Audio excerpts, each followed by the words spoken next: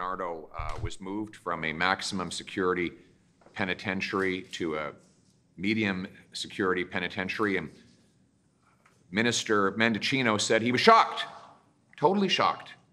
Now we know that he was informed three months earlier and did absolutely nothing. At least two emails that he got from corrections services informing him of this move. And then after the fact, he claimed that he knew absolutely nothing about it. This is not the first time Mr.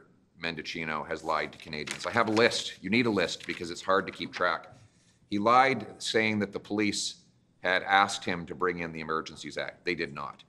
He misled a federal judge by backdating documents. He admitted in committee that the RCMP was using spyware to gain information on Canadians. He lied that the Safe uh, Third Country Agreement was working. He claimed it was impossible to close Roxham Road, something that has now happened. Um, he claimed that his amendments would not ban hunting rifles. And then later on, he had to admit that they did ban hunting rifles and reverse those amendments.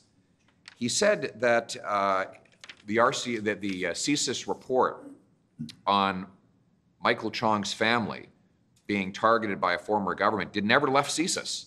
We now know that the documents went from CSIS to the Prime Minister's National Security Advisor. He claimed there were no more Chinese-controlled police stations in Canada. Now we know there are at least two. And he lied about his knowledge that Paul Bernardo was being moved from a maximum security penitentiary to a medium security penitentiary, something that he has the power to stop. So he lies and lies and lies and lies. He lies about suspending the civil liberties of Canadians. He lies about banning hunting rifles for law abiding Indigenous Canadians and farmers.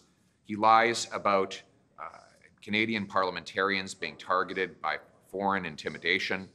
And now he's lied about his knowledge and role in moving Paul Bernardo from a maximum security penitentiary to a medium security penitentiary. These are too many lies. It's one lie too many. It is time for Marco Mendicino to resign.